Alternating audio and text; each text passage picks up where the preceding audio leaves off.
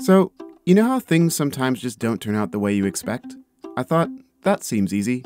What the hell? Let's go for it. So here's what happened. I wasn't planning on adding seasons for some time, but the idea for how to do it just kind of came to me one day, and like I said, I thought it seemed pretty simple. Seasons on Earth are basically the result of the fact that the planet is tilted, which means that different parts get more or less sun depending on the time of year. The northern hemisphere gets more sun in May, June, and July, and the southern hemisphere gets more sun in November, December, and January. There's some nuance to this, which means that the warmest temperatures don't necessarily align with the time our region gets the most sun, but we're going to skip all that for now. The key points for this simulation are at the equator, temperatures are essentially stable, which means there are no seasons. And the further you get from the equator, the more extreme seasonal temperature variations are. This is represented by tiles turning whiter as they get colder, so you should see this changing over time with a full cycle taking 300 turns. Like in the real world, the hemispheres are a mirror image of each other, so the coldest turns in the north are the hottest turns in the south. As a side note, I also added day and night cycles because why not? These take 24 turns with diurnal temperature variation starting at 6 degrees and being affected by altitude and precipitation. At the moment, temperature has no direct impact on creatures, it only impacts the environment itself. So, the rate of plant growth on a tile is now linked to the tile's temperature. Basically, the ideal temperature is 25 degrees C, and the further we get from that, the harder it becomes for plants to grow. This means we should see the best growth in these regions, as they average around the right temperature and they're close enough to the equator that they'll never stray far from that temperature. Around the equator, temperatures are stable, but they're a little too hot. And as we get close to the poles, temperatures become both cold and unstable. The interesting thing is that this is quite a simple change, at least in theory, but it has very far reaching effects. Lower or higher plant growth affects the amount of waste on a tile and the number of creatures the tile can support, which also affects the amount of waste on a tile. The amount of waste affects the rate at which plants can regrow, and the cycle continues. And of course, creatures themselves are also a food source, so they feed into this loop as well. Also, temperature impacts the rate of decay, which again impacts the available food and everything else in the chain. It's the kind of chain reaction that indicates that this simulation is inching closer to a good representation of a complex environment. And considering we haven't explicitly implemented any changes to how creatures are impacted by temperature, that's coming in another update, I was curious to see what differences we could observe. An immediate consequence was that everything died, over and over again. But given that we're introducing a variable which decreases the total amount of food on the map at any given time, i.e., by implementing another factor which limits plant growth, this was not all too surprising. So I tried a few different things. Initially, I just added a lot more food to the map. There are two hopes here. First, I was hoping this would enable larger creatures to evolve since there would be less of a risk of them just clearing all the food from a tile without satisfying their caloric needs. Second, I was hoping that some creatures would be able to survive in more desolate environments since, although they are still desolate, they have more resources than they did before.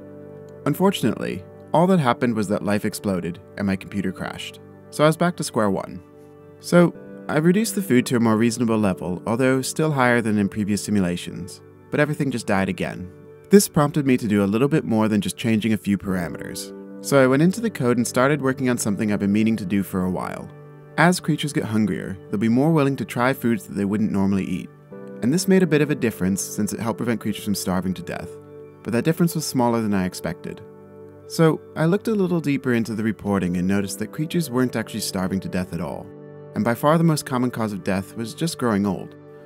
That's nice, but it's not really what we want from an evolution simulator so I bumped up the rate at which creatures can die from either starvation or dehydration. This pulled us back into a more reasonable distribution for causes of death, but again meant that everything just died over and over again. I fiddled with the numbers a bit more, but thought this was a bit boring, so I came up with another solution. When creatures are first spawned into an environment, the starting values for their diet will reflect the environment they're in. So, if they're spawned into a rainforest, their diet will consist mostly of leaves. If they're in grassland, it will be mostly grass, and so on. Note that this only affects creatures that are spawned at the very start of a simulation. It doesn't affect anything born into the environment through mating. This gave me roughly what I wanted. Often, but not always and not immediately, all the creatures in the environment will die. So we have a competitive environment, but not so hostile that it's impossible for anything to survive. So, there are a couple of changes to note with regard to reporting and data visualization. The first is that we have twice as many creature avatars when compared to previous iterations of the simulation. The idea was that this should result in a more obvious variation, since creatures on the map will have twice as many avatars to compare their stats to. we also have a slightly different way of comparing creatures to avatars now. In previous iterations, the simulation would calculate the correct avatar by comparing each stat for all diet appropriate creatures, which meant there was no possibility, for example, of getting a carnivorous panda. I didn't really like this because A, carnivorous pandas sound fun, and B, it didn't provide a good representation of changes in diet. If something went, for example, from a meat rating of 0.1 to 0.4, this is significant, but it made no difference to the avatar calculation since both ratings would be classified as omnivores. So now the calculation just takes the creature's meat rating into account for the overall calculation, which means killer pandas are a real possibility. The only downside of this is that you can't simply look at a map and just assume you're looking at a particular type of diet. But hey, we have data, so we should be all good. So we can now see which tile every creature is occupying based on a typical coordinate system, and we can see the biomes associated with those tiles. This should open up some new possibilities for understanding what's going on in particular regions. And speaking of data, you should check out this free and easy way to learn computer science, math, and data science. Brilliant.org is the best way to level up your skills in a fun and interactive environment. I'm using Brilliant to learn more about neural networks when I could otherwise be melting my brain with social media. Whether you want to power through an entire course for a new skill as fast as possible, or spend just 10 minutes a week topping up the skills you already have, Brilliant customizes content to fit your needs and adds new lessons every month, including thinking in code and exploring data visually. There's thousands of lessons from beginner to advanced, so try Brilliant for free for a full 30 days. Visit brilliant.org slash 8littlebears, or click the link in the description. So, jumping into this episode's simulation, we have a map with some pretty favorable starting areas. They are the ideal temperature zones which average around 25 degrees C and have relatively low variation. They also have good access to water and are semi-isolated, but with opportunities for expansion when the population is ready. So we've started with some base stats that are pretty close to our Pygmy Hog avatars, and things progress pretty quickly. By our first flyover at 12,000 turns, we have three major playstyles that are all represented by various Badger builds. As you can imagine, we haven't had much time so things are still pretty stable, although there's been a pretty sharp decline in creature speed. First, as I mentioned before, this map still has more resources per tile than any of the previous ones, which means that moving to other tiles is less valuable as long as a creature is in a tile that has good growth. It also means that creatures will be less reliant on predation since alternative food will typically be available. Second, seasons have caused the southern and northern regions of our map to be more hostile since they'll be spending a significant amount of time in freezing temperatures and essentially unable to grow food, which, again, makes moving around a lot less valuable or even a liability. By contrast, you'll notice that our cold zones never really reach this region, so it has good growth year round and supports a pretty consistent large population. Also, as a bit of a side note, we can see the effects of creatures leaving waste behind on plant growth here, but mostly I'm pointing that out because it looks quite satisfying. Anyway, by turn 48,000, we have a slightly more diverse world, with larger omnivores taking a foothold alongside our badgers. Looking at the data, we can see that speed is still falling, although the rate of decline has slowed, and stealth has also declined. Remember that the major downside of a high stealth rating is that it reduces a creature's movement speed, but not its attack speed. So a reduction in stealth can offset a reduction in speed to some extent. What this means is that creatures are essentially reducing their combat ability, which is affected by both speed and stealth, and reducing their energy requirements, which is massively affected by speed. This makes sense when looking at the diet data, as the average creature is focused on leaves, which are most abundant in tropical rainforest, which is where our creatures are grouped together. Now, we do have meat as a major component here, but the way the code works is that creatures will always prefer their highest rated food if that food is available. So, again, I think this trend makes sense. The other thing to note is that reproduction is trending faster. There are many factors which could affect this, but I think the key things to consider are that faster reproduction results in weaker offspring that can't effectively move between tiles, and that those offspring can't effectively defend themselves. As we mentioned earlier, our food per tile is essentially doubled for tiles that are in ideal temperature ranges. This means there is less of a requirement for creatures to move between tiles, which aligns with the other trends we're seeing. Faster reproduction may be the result of our other trends leading to a less predatory environment, although it's noteworthy that predation is still common. Finally, there's also less diversity in the badger build, with the European badger taking the dominant spot, and it's not long before they outcompete the larger omnivores. Anyway, let's move on and see where we get to. Over time, the population recedes, expands out again, and then moves around, but its composition remains pretty consistent. As things progress, the smaller American badger becomes dominant, but it's again paired with our slightly larger omnivore build, represented by our Red River Hog avatar. And of course, there's a few other builds dotted around the map. This remains the case for quite some time.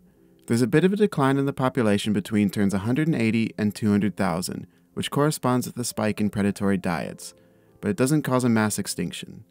I thought this was pretty interesting because we appear to have the opposite correlation here. However, the nuance is that this fall in predatory behavior is preceded by a fall in population.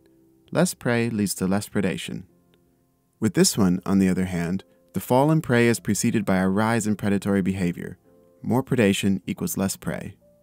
In other words, these are not conflicting correlations, they're exactly what you would expect. Following this, we have a slow recovery with smaller creatures maintaining steady dominance in this environment.